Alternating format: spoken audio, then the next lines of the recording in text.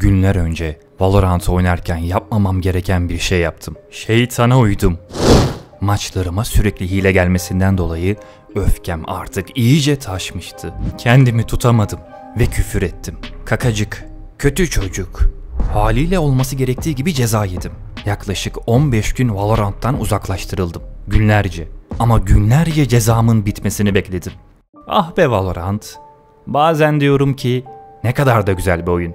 Gündelik yaşamdan, stresten ve sorunlardan uzaklaşmamız için bir anlığına da olsa tüm negatif durumları unutup dostlarımızla eğlenmek için ne kadar da güzel bir oyunsun diyorum.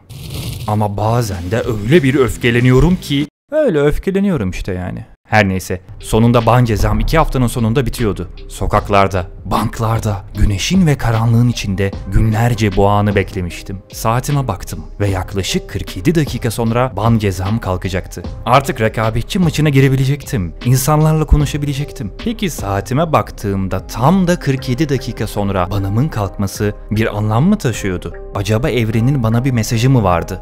Şey, e, ayak numaram benim 47 de.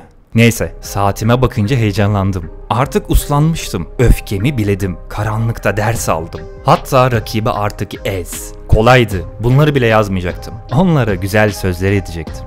Bir an önce eve gidip oyuna girmeliydim. Hemen arabama doğru yürümeye başladım. Şey bir dakika benim arabam yoktu ki. Acele etmem lazımdı. Koşmalıydım.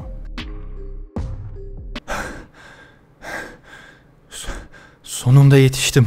Hatta 9 dakika önceden yetiştim. Ama bilgisayarı açmadan önce maçlarıma artık hile gelmemesi için bazı totemlerimi yapmalıydım. Ay susun lan! Totemler de tamam. Şimdi başlayabiliriz. Siz siz olun, ne olursa olsun küfür etmeyin. Hileler, hileler her zaman olacak. Şımarık çocuklar her zaman olacak. Sizler anı yaşamanın keyfini çıkarın. Kolay mı? Asla. Ama mücadele etmeye değer. Şimdi ise sakince oyunumu oynayacağım. Bu arada bizimle oynamak istersen Discord sunucumuza katılabilirsin. Açıklama kısmını linkini ekliyorum. Şimdi benim için eğlence vakti. Ya ananı avradın...